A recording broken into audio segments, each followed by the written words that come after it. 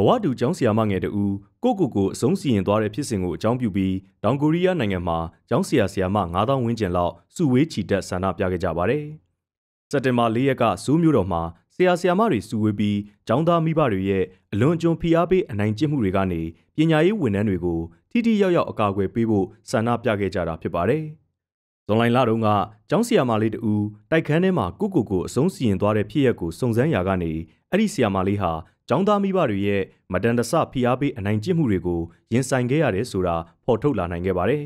။တောင်ကိုရီးယားကကျောင်းဆရာဆရာမတွေဟာကျောင်းသားမိဘတွေနဲ့မိဘတွေစီကမလျော်မကန်ဆက်ဆံမှုတွေကိုကြုံတွေ့ရမှုတိတိတသာမြင့်တက်လာနေကြောင်းဝေဖန်မှုတွေထွက်ပေါ်နေချိန်မှာအခုဖြစ်စဉ်ပေါ်ပေါက်လာတာပါ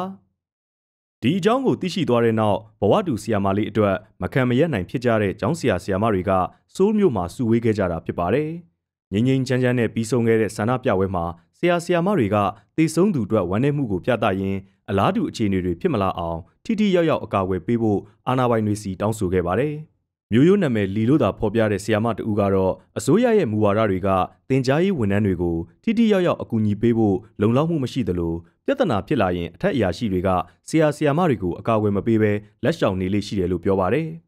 တောင်ကိုရီးယားသမ္မတယုံကတော့သမ္မတယွန်ဆွတ်ယိုဟာဆန္ဒပြဆရာဆရာမတွေရဲ့တောင်းဆိုမှုတွေကိုတေချာမှတ်သားနားထောင်ပြီးအစီရင်ခံဖို့ညွှန်ကြားထားကြောင်းထုတ်ပြန်ပါတယ်။စက်တင်ဘာ၄ရက်ကစိုးမျိုးအပြင်တခြားနေရာတွေမှာပြုလုပ်တဲ့ခြိတက်ပွဲတွေကိုပါထည့်တွက်ရင်ဆရာဆရာမပေါင်း9000လောက်ထိဆန္ဒပြမှုတွေရှိခဲ့တယ်လို့သိရပါတယ်